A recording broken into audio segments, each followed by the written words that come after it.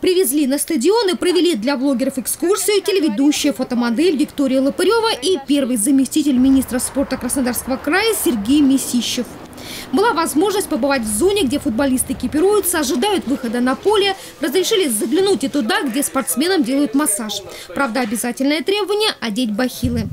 Блогеры и в креслах посидели, и полежали на массажных столах, чтобы хоть на миг побывать в роли известных футболистов.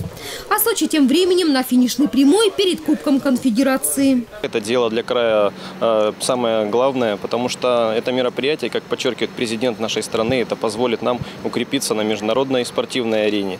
Э, три крупных мероприятия, которые уже принял наш стадион, это матч Россия-Бельгия, который собрал 30, 40 тысяч зрителей. Э, это говорит о многом, о том, что все те системы, все те усилия строителей, э, волонтеров, э, правоохранителей, спортсменов, все те не прошли даром, и все остались очень довольны. До предстоящих матчей Кубка Конфедерации осталось буквально считанные дни. Уже 19 июня здесь наш прекрасный стадион примет один из матчей Кубка Конфедерации. Многие из блогеров не то что на стадионе Фишт, а и в Сочи впервые. Соответственно, все здесь производило впечатление. Снаружи он, он здоровый стадион, да? Но когда вовнутрь заходишь, ты понимаешь, что он вообще просто гигантский, необъемный какой-то вот. А, нравится вот сочетание цветов, синий, вот это синий с белым, но это прям, ну не знаю, мой, по крайней мере, этот цвет, мне прям вот нравится вот это сочетание. Вот, и что еще?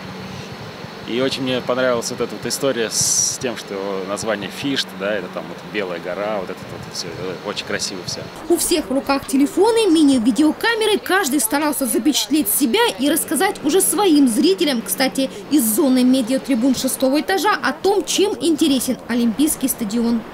Совершенно чудесным образом я уже оказался на стадионе Фишт, это Сочи, и дал интервью РЕН-ТВ.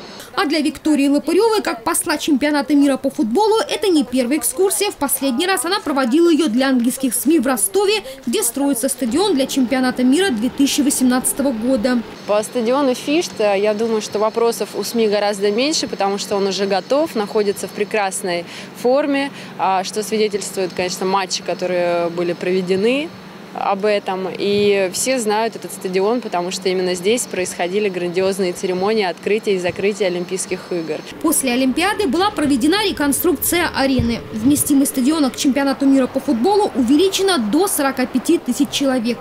Елена Овсецина, Николай Тихонов, телекомпания «ФКТ».